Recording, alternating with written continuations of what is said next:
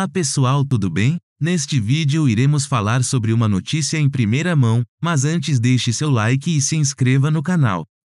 Tata Werneck chora em homenagem a Paulo Gustavo no Melhores do Ano.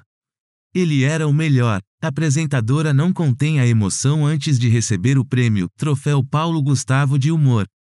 Tata Werneck foi a primeira humorista a ser contemplada com o Troféu Paulo Gustavo de Humor durante o Melhores do Ano no Domingão com Hulk.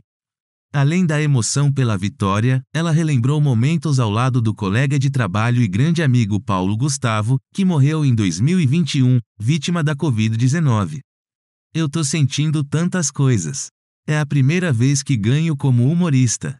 Eu trocaria qualquer prêmio para estar concorrendo ao lado do Paulo e pendendo para ele porque ele era o melhor. Ele sempre dizia que se ganhasse, ele falaria sobre a importância do humor. Sobre como o humor ainda é discriminado, que ainda é visto como o primo pobre da interpretação, como se nunca fosse suficiente. Além de Tatá, Fábio Porchat também se emocionou ao lembrar do amigo, com quem começou a carreira nas artes. Foi um ano muito difícil. Eu comecei a minha carreira com o Paulo, me formei no teatro com ele, meu primeiro trabalho na vida foi com ele. Todo dia eu descubro que ele não tá aqui. É uma loucura, é muito esquisito. Deixe o seu comentário do que você acha sobre isso. Então nos vemos na próxima notícia.